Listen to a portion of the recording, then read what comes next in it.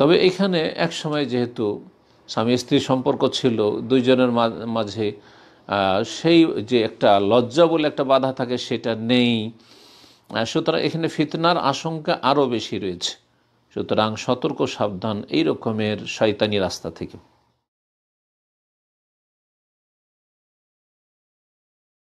তিন নম্বর প্রশ্ন করেছেন, তালাক দেওয়ার পর ওই স্বামীর সাথে দেখা করা বা ফোনে কথা বলা বা তার কাছ থেকে কোনো উপহার গ্রহণ করা যাবে কি? আর যদি তালাকের পর সেই স্বামী কি তার তালাক দেয়া বইয়ের ভরণ পোষণের দায়িত্ব নিতে পারবে? জানালে উপকৃত হব। প্রথম কথা বলেছেন যে তালাক দেওয়ার পর ওই স্বামীর সাথে দেখা করা।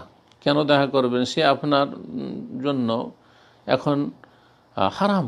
তার সাথে নির্জনে দেখা সাক্ষাৎ একেবারে হারাম। এবং তার সামনে পর্দা করা ফরজ সে আপনার বেগানা নন মাহারাম সে, বেগানা পুরুষ সে, তার সাথে কোনো সম্পর্ক নেই আপনার। ফোনে কথা বলা, ফোনে কথা বলা সেটা যদি নির্জনে হয়, ফিতনার কারণ হয়, তাহলে সেটা হারাম। কিন্তু প্রয়োজনে হয়তো ছেলে মেয়ে আছে, কখনো টেলিফোন করছে, ছেলে ছেলে মেয়েকে দেখতে আসতে চায়, অথবা আপনার কোনো কথা ছেলে মেয়েদের ব্যাপারে, অথবা ছেলে মেয়েদের ভরণ পোষণ দেবে টাকা পাঠাবে সেই জন্য কথা বলতে চায়, প্রয়োজন আর ফেতনা মুক্ত যদি থাকতে পারেন, তাহলে প্রয়োজনে কথা বলা যায় যেমন বেগানা পুরুষদের সাথে প্রয়োজনের তাগিদে কথা বলা যায় তবে এখানে এক সময় যেহেতু স্বামী স্ত্রী সম্পর্ক ছিল, দুইজনের মাঝে সেই যে একটা লজ্জা বলে একটা বাধা থাকে, সেটা নেই। সুতরাং এখানে ফিতনার আশঙ্কা আরও বেশি রয়েছে। সুতরাং সতর্ক, সাবধান, এই রকমের শয়তানি রাস্তা থেকে।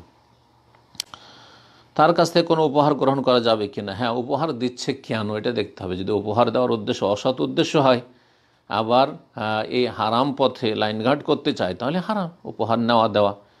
কিন্তু যদি এমনি স্বাভাবিকভাবে দেয় যাতে ফেতনার কোনো আশঙ্কা না থাকে, আর পার্সোনালি কোনো রকমের, ওই রকমের যোগাযোগ, গোপনীয় কোনো যোগাযোগ এরকম কিছু না থাকে, তাহলে যাইজ এক কথায় ফেতনা মুক্ত থাকতে পারলে যাইজ তারপরে বলছেন যে তালাক দেওয়ার পরে সেই স্বামী কি তার তালাক দেওয়া বইয়ের ভরণ পোষণের দায়িত্ব নিতে পারবে?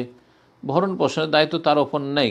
কিন্তু সে যদি যে কোনো ব্যক্তির সেই যাকে তালাক দিয়েছে তার, অথবা যে কোনো মুসলিমের পুরুষ হোক, নারী হোক কারও যদি ভরণ পোষণের দায়িত্ব নিয়ে নেয়, তো এটি সাদাকা। এটি সাদাকা।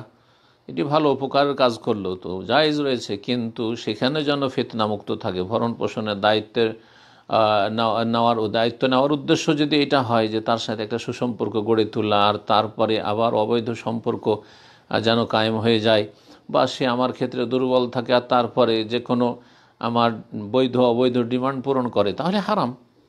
আল্লাহ রব্বরে বলছেন আল্লাহ তত্ত্বে খতুয়াতি শয়তান এগুলি হচ্ছে শয়তানের পদাঙ্ক অনুসরণ করা। ফিতনার রাস্তা হচ্ছে শয়তানের রাস্তা। এসব রাস্তাকে বন্ধ করবেন। আল্লাহ রব্বর যেন সমস্ত রকমের ফিতনা থেকে বেঁচে থাকার তৌফিক দান করেন।